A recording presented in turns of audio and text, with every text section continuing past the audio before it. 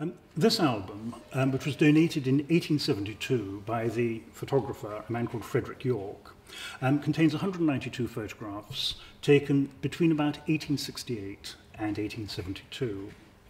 Um, the two most significant photographs are um, of the quagga, which died in 1872. This was not the last of all the quaggas, but it was the only one to be photographed alive. And here we have its left side and its right side. Um, and it is a, um, a, a tremendous thing to have a photograph of such a, um, a famous extinct animal. There is a lot of interest in extinct species and endangered species, and the images are used by people looking um, for a visual reference to an extinct species because quite often um, drawings are of the dead of, from a dead specimen. So the photograph's going to be of a living specimen. So the pose and position is can be completely different. We've got the thylacine extinct carnivorous marsupial. And it says thylacinus uh, and it's a photograph. So the um, number for the species is page is 932 get up 932.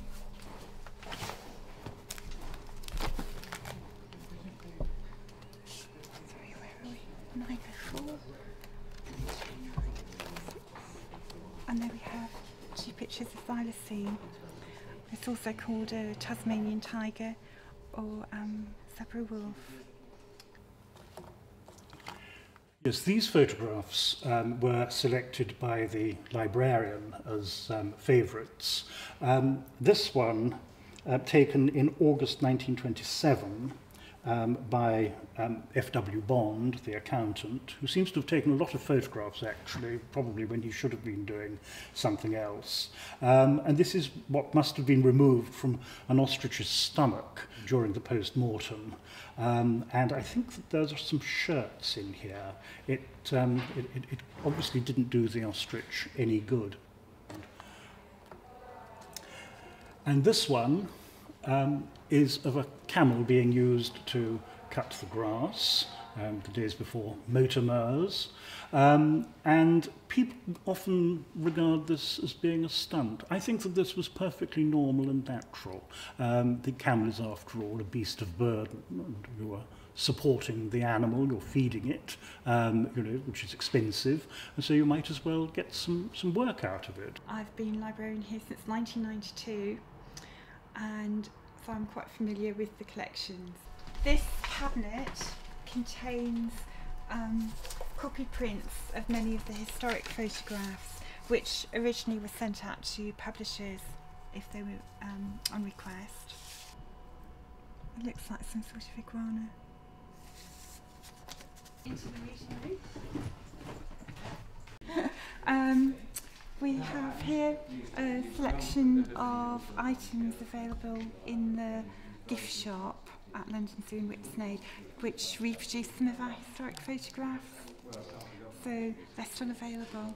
One of the things um, that, that is interesting about the Zoological Society is that it seems to have had very little interest in photography. Um, there was a photograph taken of a living fish, the pike, by the Count of Montizon, which is one of the earliest photographs ever taken of a living animal. And they um, wrote it up in the proceedings and said, contribution to science that this involves and so on is marvellous. And then nothing happens. And um, they don't seem to have been concerned to have photographs taken of new animals. They commissioned watercolours.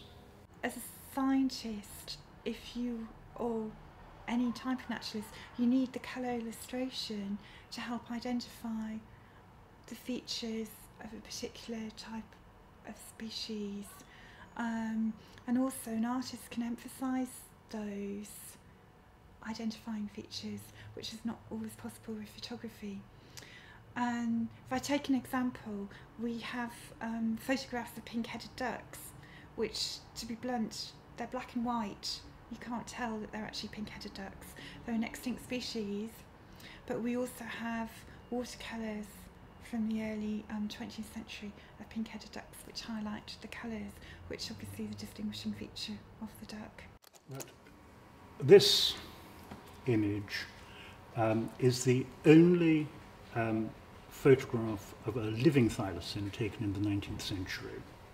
Um, it was taken by Frank Haes, probably in the summer of 1864, and we know from his own account that the way in which the animal was got to stay still was by exhausting it, by chasing it around until it collapsed in what I think is probably its drinking trough, and then the exposure was taken. People were less um, solicitous of both animals and children at that time. I think both were regarded as expendable to some degree. Um, nowadays, um, life is, is regarded as much more precious.